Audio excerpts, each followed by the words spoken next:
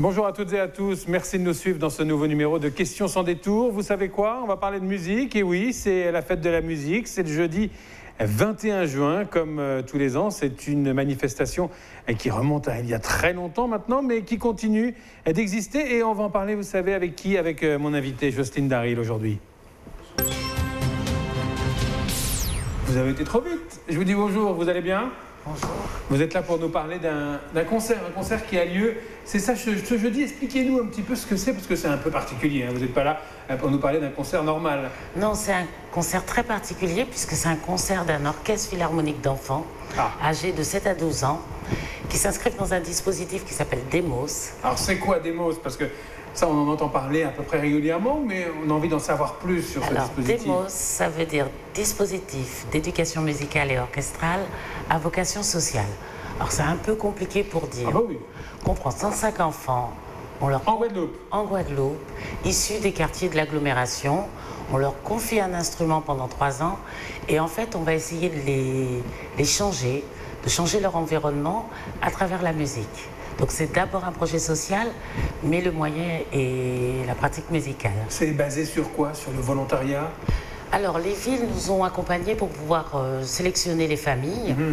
Euh, le principe était que les enfants n'aient aucune pratique instrumentale, aucune pratique artistique, et qu'ils soient intéressés par le projet.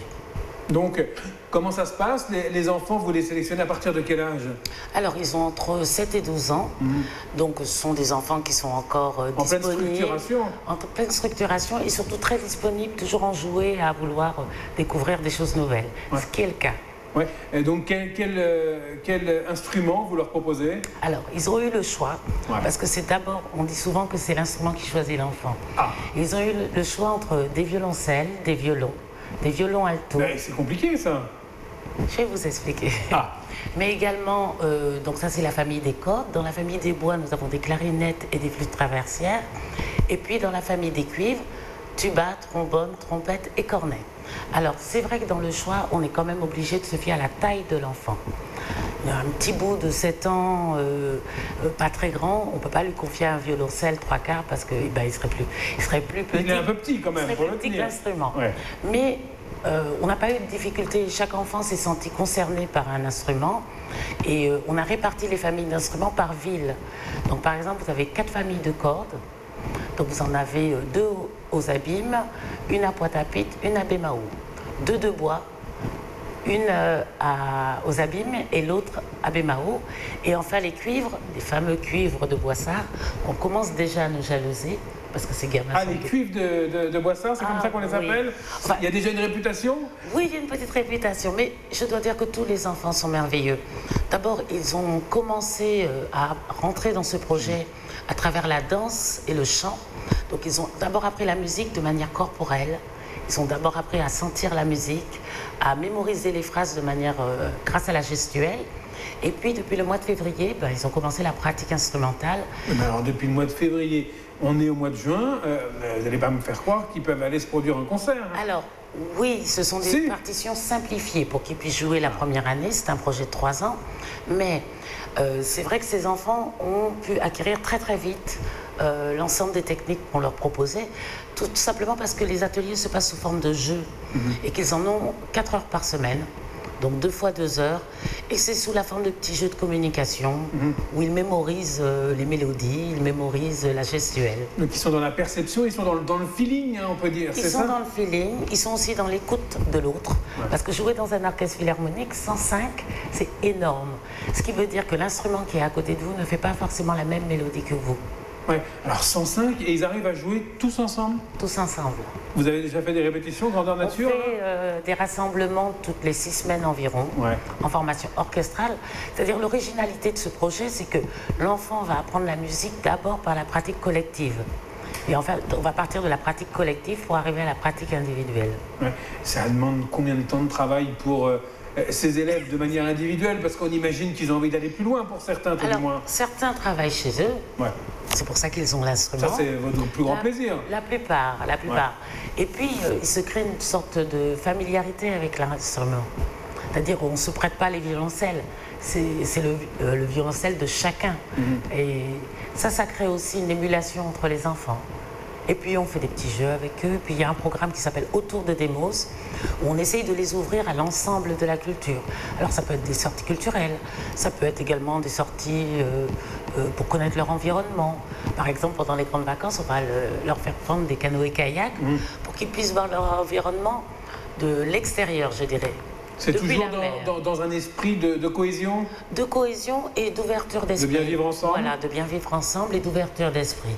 Alors ce, dispositif Demos, ça fait combien de temps qu'il existe en Guadeloupe? Alors en Guadeloupe depuis novembre 2017. Oui, donc c'est tout très récent. Hein. Euh, il y a des exemples de réussite, on imagine, un peu partout à travers euh, la France il y a déjà 25 orchestres, nous sommes le 30e. Et euh, généralement, on constate qu'après ces trois ans, 80% des enfants continuent à avoir une pratique artistique, quelle qu'elle soit, pas forcément musicale, mais artistique. Donc c'est un éveil artistique, on va dire C'est plus que de l'éveil artistique, hmm. c'est vraiment de l'enseignement artistique. L'enfant, quand il va sortir de ce projet, aura un niveau premier première année de conservatoire. Ah oui, donc c'est quand, même, pas mal. Quand même. C'est quand même pas mal. Euh, on, est, on est un peu précurseur, non, au niveau de, de notre bassin caribéen? Ah, nous sommes même les premiers. Hmm.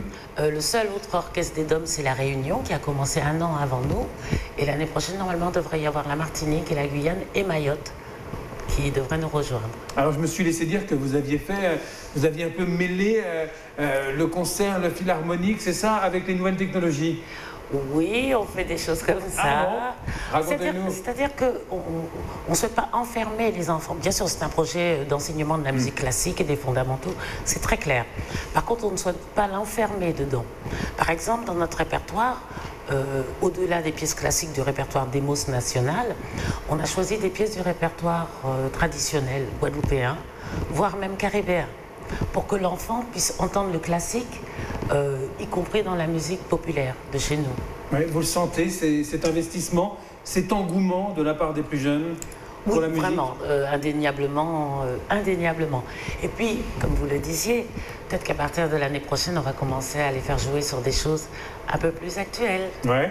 Peut-être on verra. Et puis vous allez pouvoir travailler, si j'ai bien compris, deux concerts, sans mauvais jeu de mots, avec la Guyane et la Martinique. Avec la Guyane et la Martinique, en sachant qu'on sera un petit peu plus avancé qu'eux, puisque euh, l'année prochaine, les enfants vont commencer à apprendre le solfège. Ah toujours de la même manière ludique, toujours euh, sous forme de jeu, puisqu'ils associent déjà des mélodies à des mouvements, mais ils apprendront qu'on peut décomposer ce mouvement en notes. Est-ce qu'on peut rattraper le, le train en retard, la rentrée dans un wagon? Non, ce n'est plus ah. possible. Je veux dire, on demande un tel investissement aux hmm. enfants, aux parents et aux éducateurs qui nous accompagnent que euh, l'enfant aurait cumulé trop de retard et ne comprendrait pas euh, la façon hmm. dont on progresse dans ce projet. Alors le prochain projet, si je comprends bien, c'est dans deux ans après. C'est la fin de cette année. oui, deux ans. Mais bon, il aura sa poursuite dans les équipements qui vont bientôt s'ouvrir. Je ne voudrais pas faire un clin d'œil au Centre des Arts, mais quand même. Ah, il va rouvrir là? Oui, bien sûr. Vous avez des infos à nous donner? Euh, les infos que tout le monde a, euh, c'est-à-dire qu'on est plutôt sur euh, un schéma directeur qui prévoit l'ouverture des équipements autour de 2019-2020. Ça aurait été long, hein c'est long parce que euh, d'abord c'est un investissement public mm. lourd et qu'il convient de bien penser le territoire, puisque quand on construit des équipements, on construit, on construit pour les 30 années futures. Donc il ne s'agit pas de penser le territoire simplement sur le temps présent, mais d'imaginer ce qu'il sera dans 30 ans. C'est ce qu'a fait le Centre des Arts il y a 30 ans de cela, c'est ce qu'il doit encore pouvoir faire. Avec peut-être des élèves hein, euh, de ce dispositif qui se produiront sur la scène du Centre des Arts. Mais on l'espère bien. On l'espère bien. Euh, les concerts, on rappelle, donc c'est le, 21 juin. pour la fête de la musique à, 18h au Collège Carnot, donc mhm. au collège. Et puis ce sera le 7 juillet, notre concert annuel puisque c'est prévu. Chaque année, euh, les enfants doivent faire un concert dans l'une des trois villes membres de l'aglo. Et donc le 7 juillet, ce sera à 19h à l'école Timothée Gendré dans les, sur les hauts carénages. C'est payant?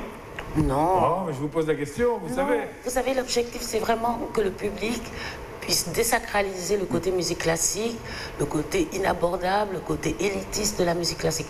Franchement, si vous voyez un atelier, ça dure deux heures, les enfants rigolent. Et on se dit jamais que la musique est élitiste. Et eh bon, on vous dit à jeudi en tout cas. À jeudi, merci beaucoup. Merci de nous avoir suivis et à très bientôt pour un nouveau numéro de Questions sans détour.